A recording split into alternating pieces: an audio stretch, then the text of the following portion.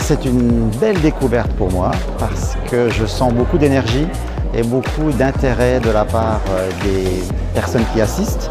Euh, j'ai vu le programme et le programme est tellement diversifié que je pense que euh, ça va partir dans tous les sens. Il va y avoir des apports assez exceptionnels autour de, notre métier de pâtissier. Et c'est bien pour le métier de pâtissier d'être, de ne pas faire uniquement des gâteaux, mais de réfléchir à ces gâteaux.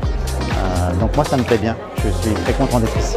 Euh, en fait, ce macaron n'est pas une création. Il est en fait euh, une histoire.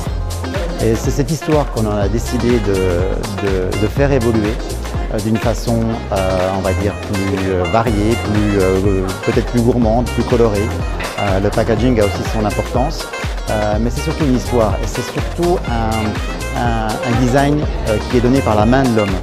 Ce n'est pas un design qui est donné par un artifice, mais euh, c'est excessivement manuel, euh, notamment le fait de couper les macarons qui vont leur donner cette petite forme de cake euh, si particulière.